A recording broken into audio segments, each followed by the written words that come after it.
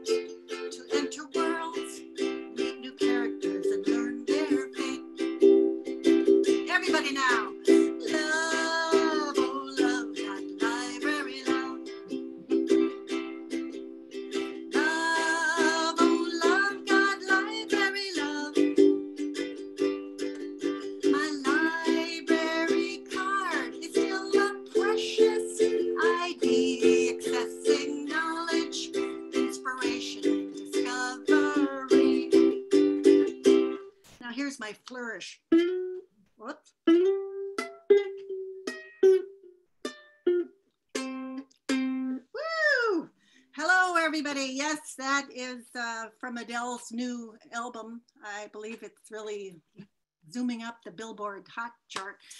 I am so happy to be here today celebrating with you, celebrating um, the Minnesota Friends of the Library, uh, Mel, celebrating books, celebrating readers, celebrating writers.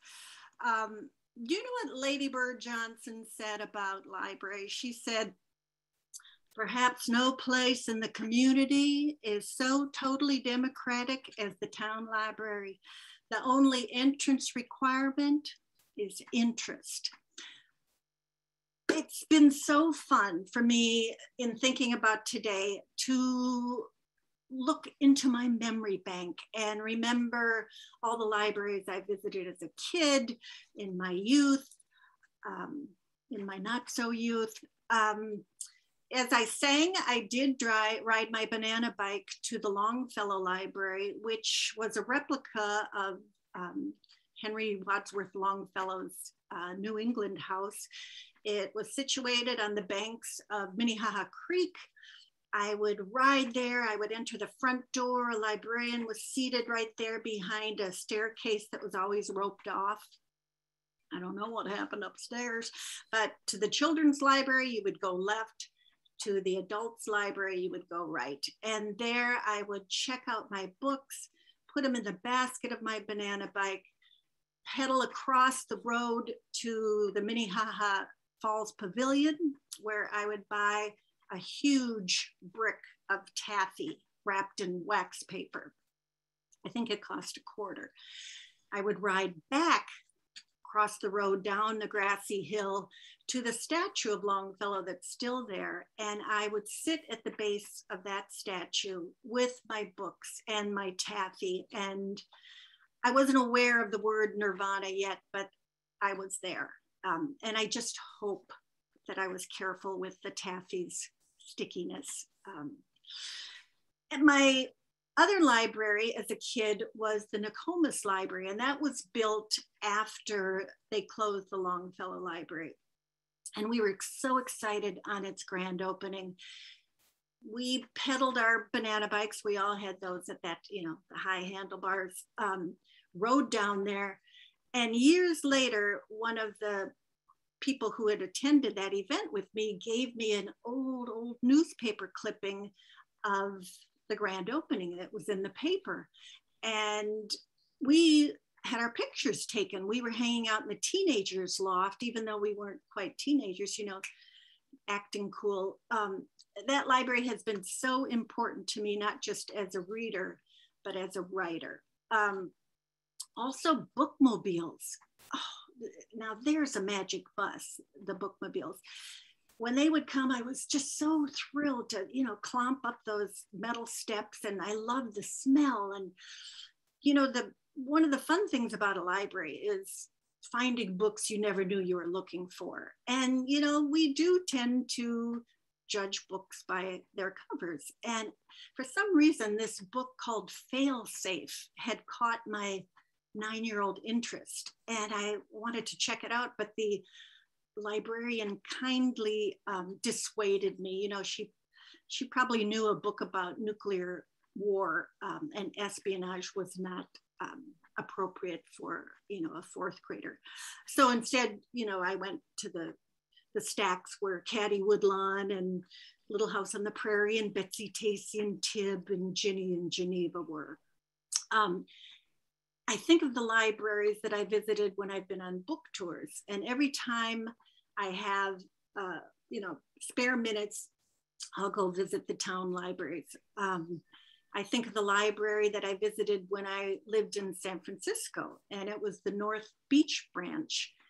And it, you know, the beat era was over, but it definitely had a beat poet vibe to it. I think it was almost mandatory that you had to wear a beret when you went in there. Um, when I lived in Hollywood, I would roller skate down the Walk of Fame on Hollywood Boulevard and take a right on Ivar Avenue where the old Carnegie Library was. And because that was in the middle of Hollywood, you definitely had your Hollywood patrons. Um, I'll never forget, I was in the biography section and this woman approached me and she, you know, had so much makeup on, you know, and it was like August. It was nowhere near Halloween, and her hair was like a pink white swirl on top of her head. And she just gave me a real dirty look. And, and I, I was taking out a, you know, biography of Errol Flynn. And she said, he was my lover. That's who you'd meet on Hollywood Boulevard. Um, my family and I, years ago, took a trip to Norway. And for a couple days, we were on the Hurtigruten, which is uh, not really a cruise ship. It's like a working ship that stops in ports and delivers mail and um, supplies. And they had a lending library on that ship, which I would browse through and select things. And I found my book, Angry Housewives Eating Bonbons, there. And it was thrilling because I just, I pictured, you know, the grizzled old captain sitting on the bridge of the ship, you know, as the northern lights danced behind him, you know, oh, oh yeah, those angry housewives, they're crazy.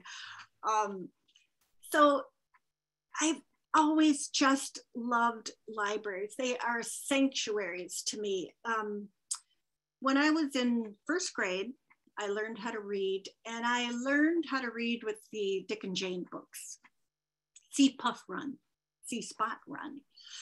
And it was then and there that I determined to be a writer because I one day wanted to write compelling prose like that. So my course was set. But I had also always liked to act. So in my 20s, I did live in Hollywood um, seeking not just a movie career, I was actually uh, gunning for Meryl Streep's career, but she didn't want to give it up.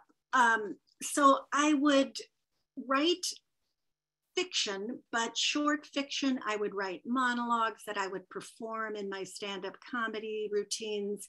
I would write monologues for my friends, but I never felt I had the gravitas yet to write that which I had always wanted to write novels. Um, to survive out there while I was, you know, being on stage and visiting agents, um, I would waitress or I would use the typing skill that I learned in Mr. Welbus's ninth grade typing class, and I would temp. And to temp in LA is really fun. You get sent to places like the 1984 Winter Olympics, um, where I typed in the teleprompter room live as the scores came in for the sportscasters to announce. So I did have a lot of power. You know, I could have changed scores now and then, but I, I kept to the script. I also temped at movie companies, record companies. Um, and once my temp agent called me up and she said, uh, yeah, uh, we're sending you to the Playboy Mansion. And I said, no, you're not. you know, I'm a feminist. I'm not going to go to the Playboy Mansion. And she assured me it was strictly clerical. Um, so I decided, like Mar- Margaret Mead, to explore a secret culture. And it was the only job my husband ever begged to drive me to. But again, all I did was type. I typed labels for hundreds of, of video cassettes. I typed synopses. Um, I got a fun job of watching old classic movies and then writing synopses. Um, so I was writing, I was acting, I was visiting my local library. Um, and then we had our, our older daughter. And her birth really changed physically, metaphorically, all those leaves, um, our lives, in that I had a dream when she was like three weeks old that I was Gorbachev's temp secretary. And he had just come into power and nobody knew what the relationship between the superpowers were. And in my dream a nuclear weapon had been set. You know may, when i think of it maybe that book fail safe imprinted on my brain somehow. Um, but anyway i woke up and i was so shook and i stood over my little baby's crib thinking what kind of world have we brought you into and so that dream really began what turned out to be millions of steps. We joined um, a group of a thousand people um, on the Great Peace March for Global Nuclear Disarmament. And we walked from LA to Washington, DC. It took us nine months. We lived in tents. We had a movable city with a school bus, a daycare bus, a mail truck, um, food trucks, equipment trucks. And we also had a little lending library along with because even when we were marching anywhere from 11 to 25 miles a day, we knew that, you know, we would have to find our solace, our whew, taking a breath by reading, you know, by tent light. Um, when we moved, when we got back to Hollywood, um, I decided Meryl was you know, wow, she's doing a great job with our career. And we decided to move back to Minneapolis. Um, and very conveniently, as we were packing up our old Chevy, these two women came into my head, and their names were Patty Jane and Harriet. And I thought, who are you? And they were very polite. They brought a title, Patty Jane's House of Curl. And I thought, huh, well, whatever this is, uh, think it had something to do with a beauty salon, which was really out of my league because my mother never went to a beauty salon. She was very proud of her naturally wavy hair. Never gave me as a kid that which I coveted, you know, a Tony perm. But I thought, well, these characters, they know something I don't. Although I also thought for a minute, maybe, maybe I'm supposed to write about, you know, a house of curl, a place where you play kind of an odd winter sport. um, so I started writing. I spent Monday and Thursday nights at the Nokomis Library. They were open until nine o'clock then, and my family understood those were my office hours. And I would diligently write to the sound of that, you know, tinkling waterfall. And I wrote all by hand. Um, it's really funny. I found the log because I kept track of how many words I wrote a day. And coming across that, I saw, whoa, one day I wrote 20 pages. I couldn't believe it. And then I realized, yeah, I was probably using some awfully big handwriting at that time. Um, I gradually did transfer to a used computer. It was a triangle that had a, I mean, a rectangle that had a screen the size of a, a postage, you know, a postcard. Um, ultimately graduated to a desktop and then to a laptop, uh, which I love because I really do love to recline when I write. Um, you can't really recline in libraries, but they offer so much more um, to write in. You know, I would look around and see all these books and think, well, they did it. Maybe I can do it. And, you know, to me, library people say now oh well we've got the whole world on our computers on our phones but you don't have a physical place without ads you know sure you can be on a, your computer at the library but you can also turn it off turn off that distraction of instant messages of email beeps and just absorb all that wisdom that's there. And it it sounds woo, but I really do believe that so much is stored in those books as you sit there and just through osmosis, um, you learn something. And I, that sounds kind of nutty, but I do believe Mr. Mark Twain said something similar. Do you know what Germaine Greer said about libraries? She said, a library is a place where you can lose your innocence without losing your virginity um, I really do think that libraries, they're like a civic gift, you know, an honor. They're honoring its citizens. Here's a place for you to sit with your thoughts, your dreams, to study, to create, to learn about things, to worry, to, to do everything in. Um, COVID was a very odd time and how's that for an understatement? Um, you probably saw my picture earlier. I entered COVID a blonde. I left uh, with white hair. Um, I was really daunted with my writing when our state hit its lockdown. I just, I, I didn't know what was ahead. I mourned that which was what, which was behind. Was that grammatically correct? I mourned that which was what behind, was behind. Well, you get my drift.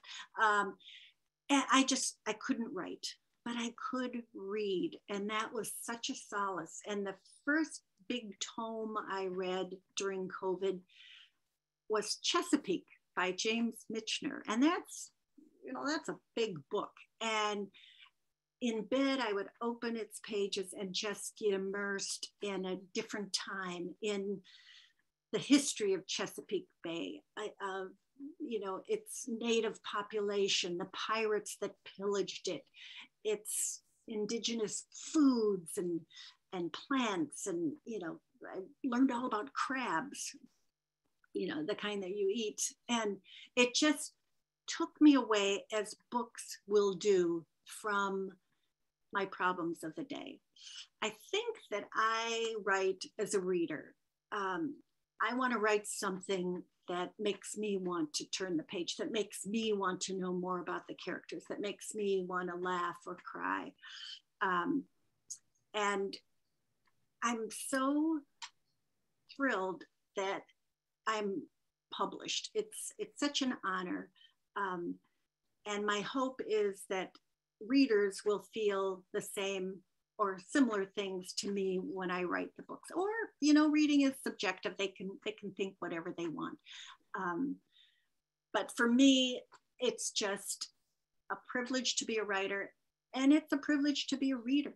Um, I did an event. It was one of my very first events in Houston, Texas, and I was on a panel with very esteemed writers, and they were giving beautiful speeches. And I thought, oh boy, maybe I should have written a speech because I had just decided to tell a story, improvising audience suggestions.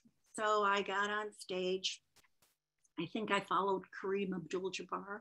And I said, Yeah, I was at the library the other day and I, I uh, had my backpack and I was surprised to find inside it. And a guy yells out, A big yellow banana.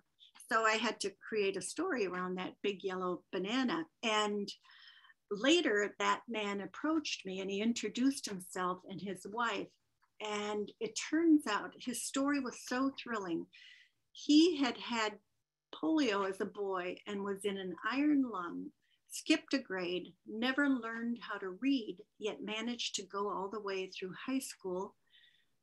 He employed over 500 people. He was a big business owner, faking reading. And it wasn't until their children were born that his wife noticed you know anytime the, a child clamored on his lap daddy daddy read to me he he didn't know how to read so she taught him and he was forever indebted to her. And he she told me oh I, you know we couldn't i was afraid to drive with him because he'd he'd read everything. He'd yell out stop and i'd you know i'd slam on the brakes. And um, that gift came to this gentleman years later, but it was a gift that he inhaled. And I think he must have read, he told me like 500 books in two years. Um, so that was thrilling. Um, do you know what Shakespeare says about uh, writing in the Tempest?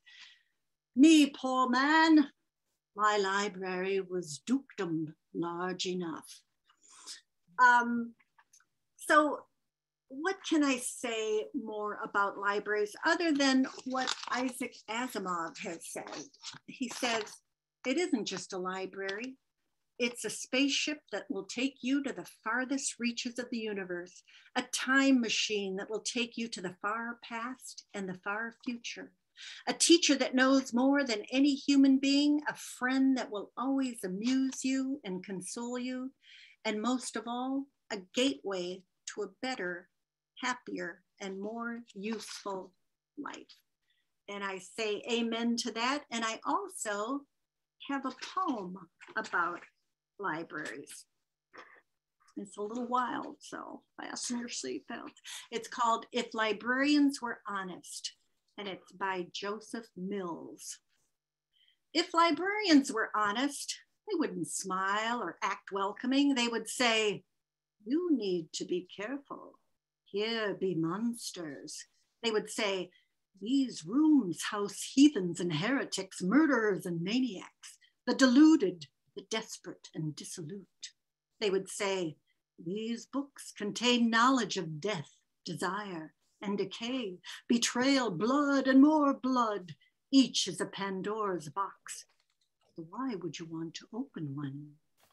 They would post danger signs warning that they would post danger signs warning that contact might result in mood swings, severe changes in vision, and mind altering effects. If librarians were honest, they would admit the stacks can be more seductive and shocking than porn.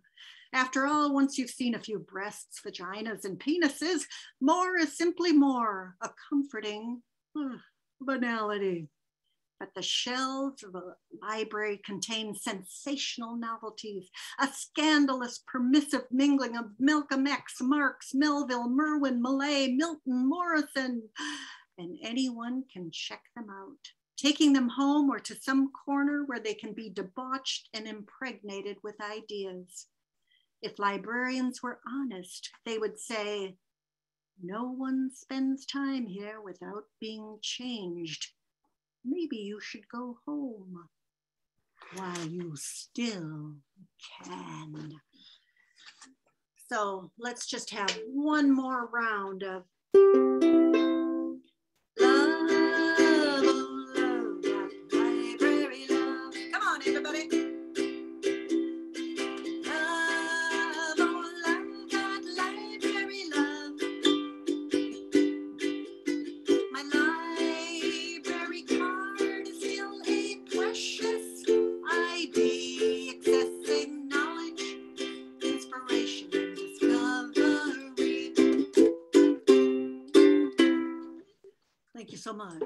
Thank you. Thank you very much.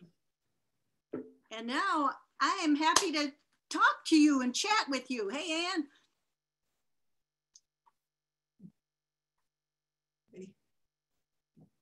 I can't hear you. You know, after 18 months of Zoom, you would think we could remember to click two buttons. I'll, I'll blame you for being discombobulated. I was laughing so hard that I had to like, um, wasn't quite together there. So thank you, thank you. You gave me just what I needed on a on a Saturday morning. How did you land on the ukulele? Well, you know, when I was a kid, um, I came from a musical family on my mother's side, at least. Um, and she and her uh, seven sisters and one brother all played piano. And I didn't want to play the piano. You know, I'm not going to play the piano. So I played the flute. Um, but you can't sing when you play the flute. So um, when my older daughter, we got her a piano. Actually, my mother gave her her piano. And so I started teaching myself with her beginner books. Um, down by by by cling cling and and then i thought well i want something a little more portable so the ukulele is just fun and it's easy it's only got four strings and i'm sure you were very very impressed with um, my capabilities um, um, as a as a librarian, I'll take any song written honoring libraries and loving libraries. So thank you. You're welcome. Um, we have a few questions that were submitted ahead of time, and I'll remind everyone that um, if you have questions that came about from uh, the comments that Lorna shared with us, feel free. At the bottom of your screen, you'll find a toolbar and you can click on chat and send the questions directly to me, send them to David as our technical wizard behind the scenes, or even share your question with the whole group. And then I'll convey it to Lorna so that she can answer. So um, thank you for that. And I also would remind you to look at the chat because um, our chair of our program committee, Sue Grove, um, has put the link in so that you can certainly, while we love people going to libraries and checking out Lorna's book, we want authors to have book sales. So remember to think about buying her book as well. Personal um, libraries are good too. Yes. what is your writing routine now that you you know you're an established writer? You talk about that first book and monday and thursday night being sacred to you for your family. What what is your writing routine now? You know i love to hear from other writers what their processes are and how they write. And i always admire those who are you know diligent about having their coffee maker set at 5.30 you know automatically so they'll wake up to the smell of brewing coffee and they'll sit down and get to work. Um, but i have to ease into the morning you know i have to do the crossword puzzles. Um, we'd get two papers um, you know, they get harder as the week goes on. So I waste more time. Uh, have to take the dog to our beautiful Fort Snelling Dog Park. So it really isn't until the afternoon that I start, oh yeah, I should sit down. Or sometimes I choose the nights. I now don't write in libraries as much as I write at home, as I said, because I like to recline with my laptop and they don't look kindly upon me when I, you know, lie down on the library carpet um, or lay down. I never got those two words straight. Um, so my goal is to write every day. I don't have a time that I start. I don't have a time that I finish. Um, sometimes it's a couple hours. Sometimes it's five hours. Sometimes it's 20 minutes. Um, and on the days that I don't write, which I try to keep few and far between, I just think that my walking is pretty contemplative. So when I, you know, I'm with the dog, I'm just thinking about characters or situations. Um, but I would love to be a little more disciplined, but that means cracking the whip a little bit harder. And ow, I don't like that. So advice that you would give to would-be writers? I know that there's always some lurking around in these uh, library program rooms. I would recommend reading as much as possible, um, not so that it takes away time from your what you want to write, um, and be strict with yourself, not uh, strict and tender. You know, I think a lot of people stop because, oh, it's so bad, and, and if it's bad, you rewrite it. You know, it's not etched in stone. Um, so be tender with your mistakes and okay, this will be better. If you're stuck, go to someplace else. Um, and just a real inspiration for me was being in the library and just seeing all the books out there and knowing, oh yeah, they were written by people just like me. They had, you know, head, shoulders, body. They were just like me. Um, so don't be daunted. Um, if you like a particular style of book, like a thriller, um, write that which you like. Uh, in fact, when I was during COVID, I was reading a lot of thrillers, which I'll read occasionally in in normal times, but I I just was attracted to ugh, that high paced um, escape. Um, and sometimes it helps to have a log too to keep track of mm-hmm. what you write daily and if it's just a paragraph one day don't beat yourself up just oh well okay maybe things are processing in my mind and maybe i'll do an hour tomorrow um, but you can get a lot done in little teeny chunks so you mentioned that that you know when covid started that you were reading a lot, but not writing. Mm. Um, you know, we've all gone through this worldwide pandemic, and as we've been reading, we've found that there are people who have become more creative, people who have become less creative because this has just been such a personal as well as societal change. Um, what what did you do to then? Because uh, I'm assuming that 18 months in, you're writing again. Yeah what how did you how did you morph from from needing to read but not write back into writing? I just felt like a part of me was missing by not writing. And i don't like you know i can stand for parts of me to be missing you know um, like the bossy parts or the who stole my candy parts you know but not the the writing part. That it just meant too much to me and i just i really had to you know shake myself and you know snap out of it. This is something that you love to do. You feel you have stories to tell so get to it. And so i did. Yeah. So one of the questions that we got ahead of time was knowing that you're now a grandmother congratulations. Um, do you think it's changed your writing process has it changed your worldview that you now have this generational uh, um, aspect in your life? Well, that started out as a nice, light little question, and then you just delve deeper and deeper. um, so I would say yes to all that. It's changed. Well, my worldview, because I have children too, has always been, oh, what's next for you?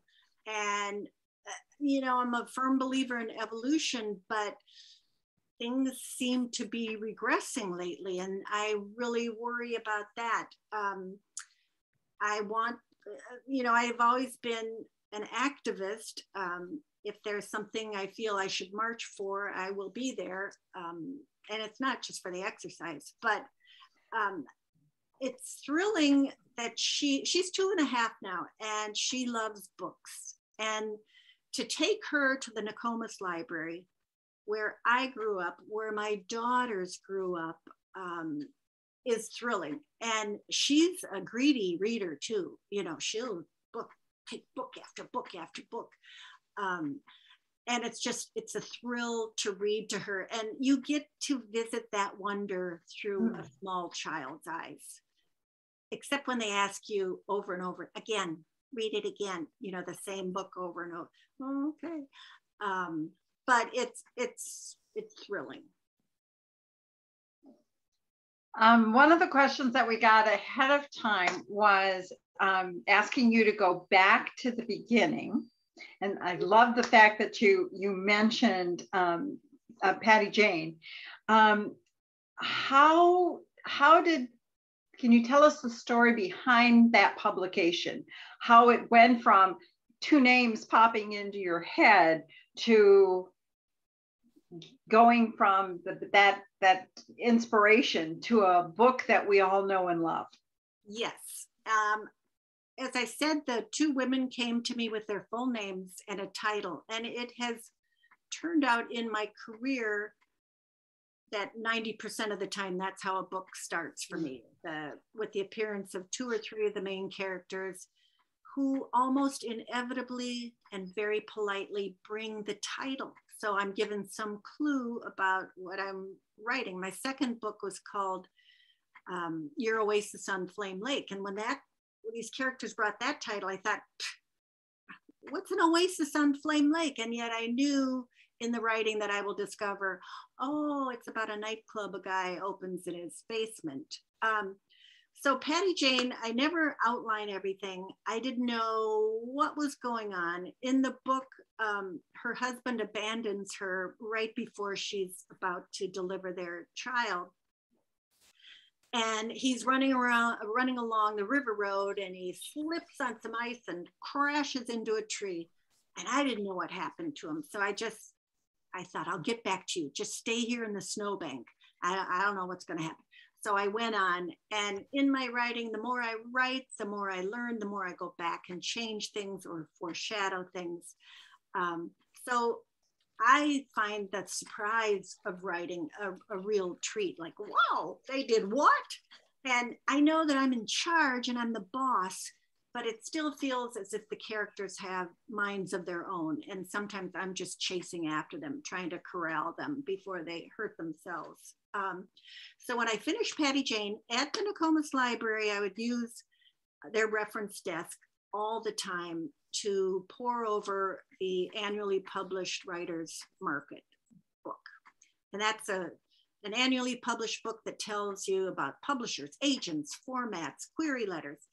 So I wrote what I thought was a, a compelling query letter and mailed that to dozens and dozens of New York agents and got dozens and dozens. No, no, thank you. No, sorry. Uh, and finally, an agent said yes.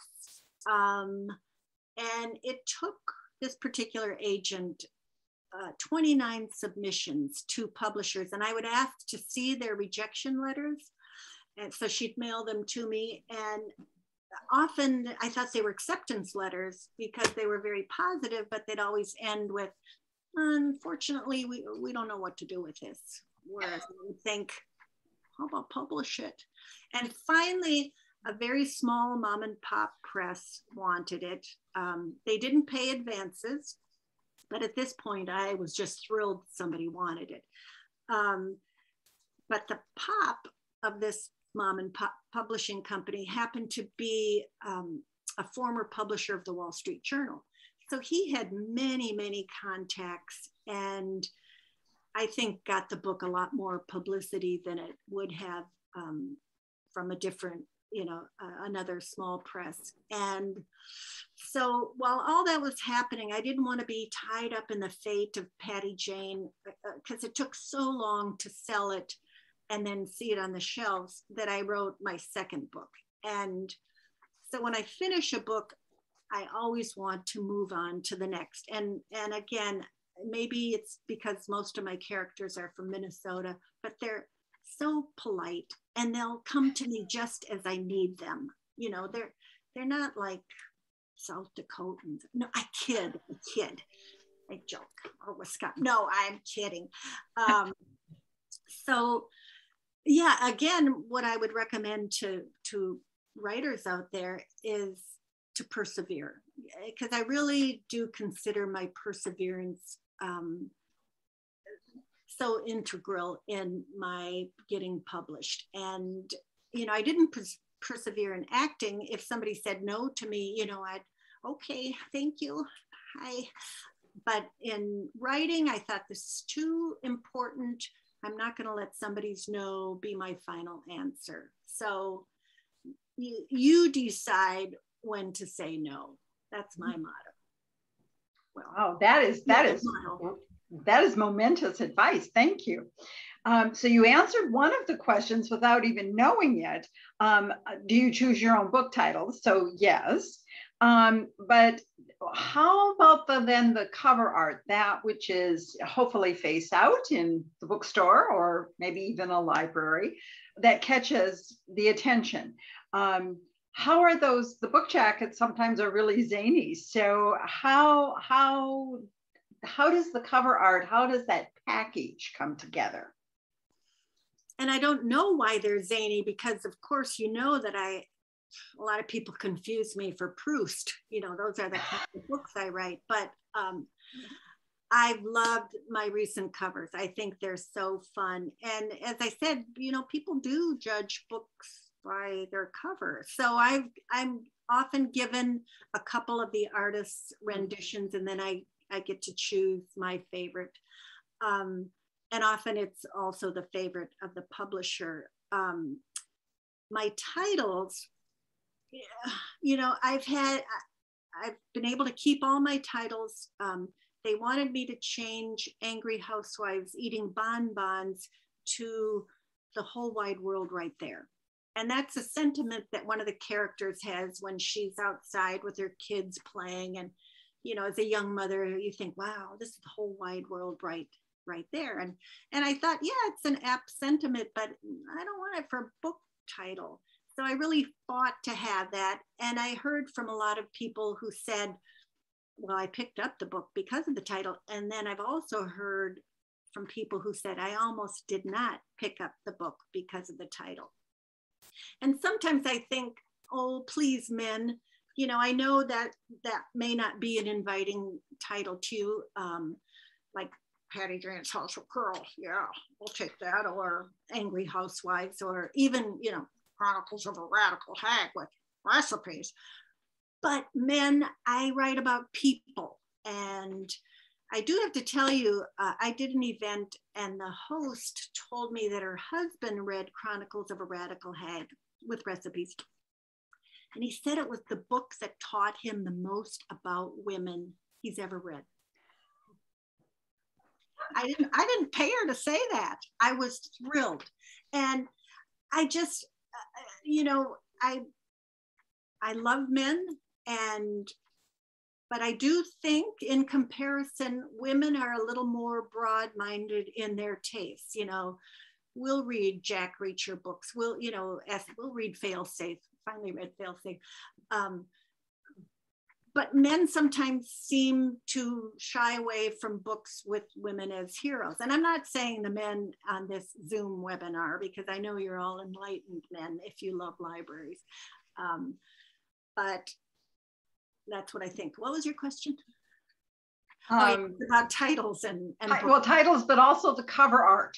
Yes, and the cover art.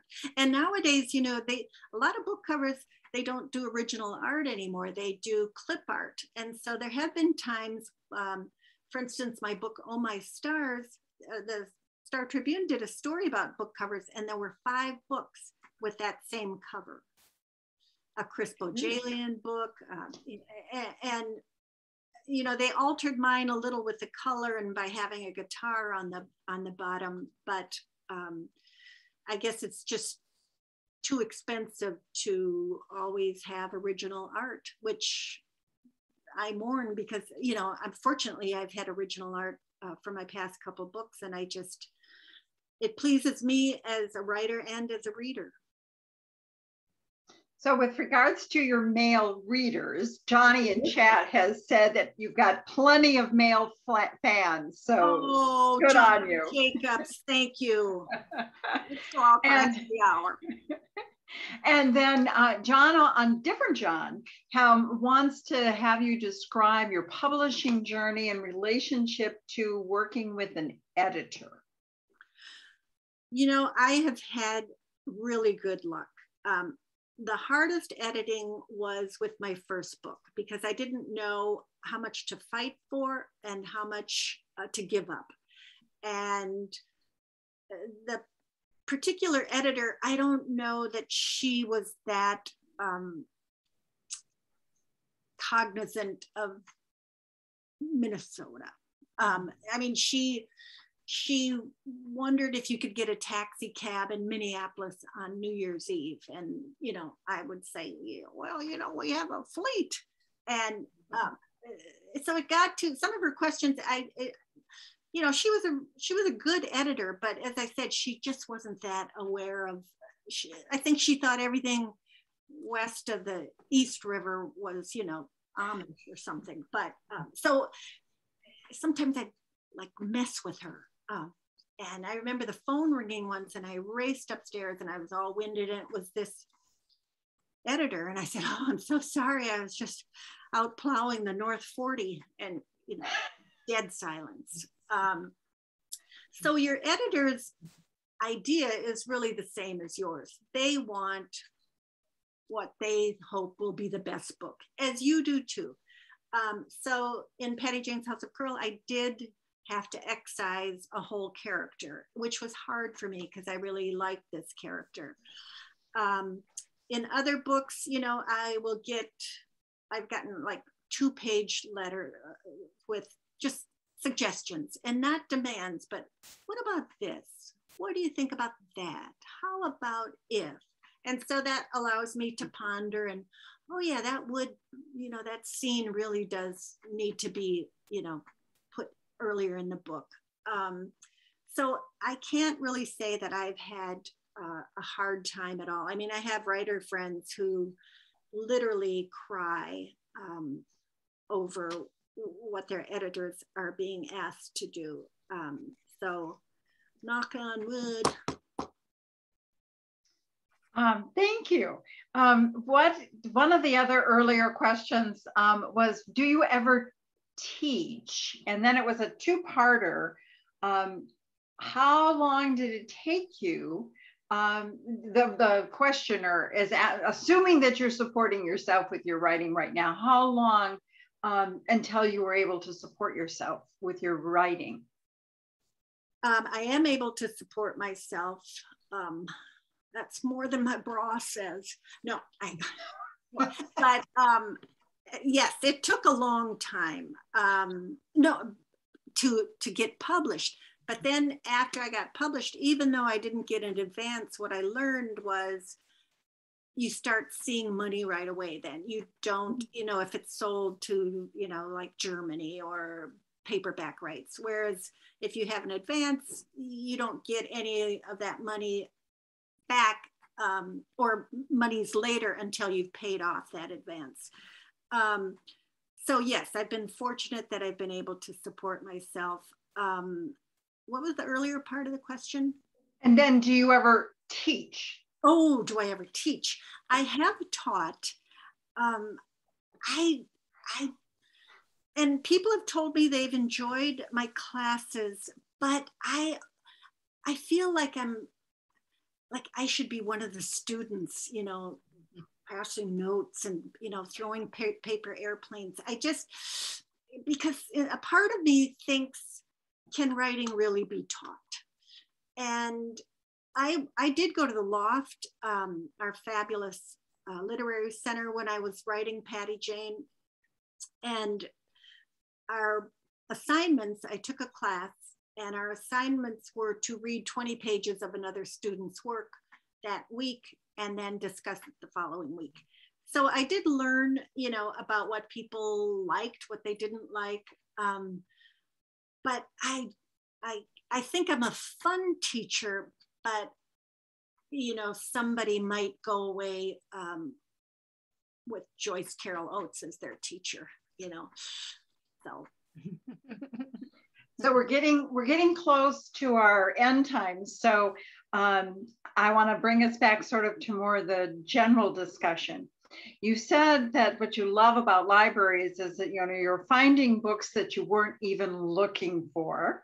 Yeah. So I love that spirit of exploration.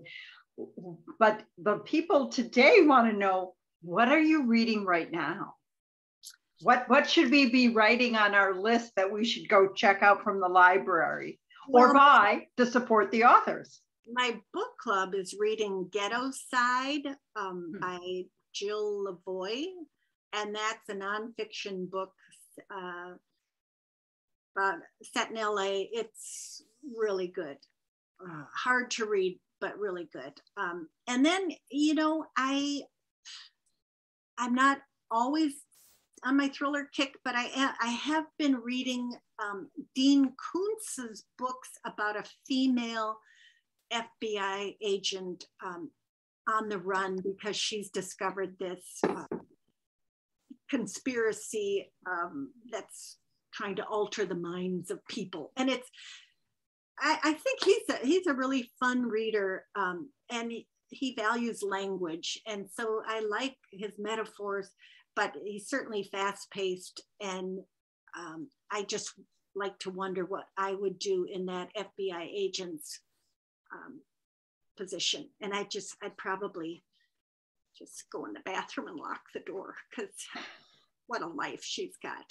Um, so yeah, uh, and I, I have a stack of books in my other room that I got from the library. Um, and of course the titles right now just fly through my head. Um, but if I think of them soon, I'll let you know. Well, thank you for the book title recommendations. Thank you for your comments as well as answering all this random set of questions. I want to encourage all of our participants today to certainly go out and get a copy of Chronicles of a Radical Hag with recipes. And Remember, it's not a memoir, it's a novel.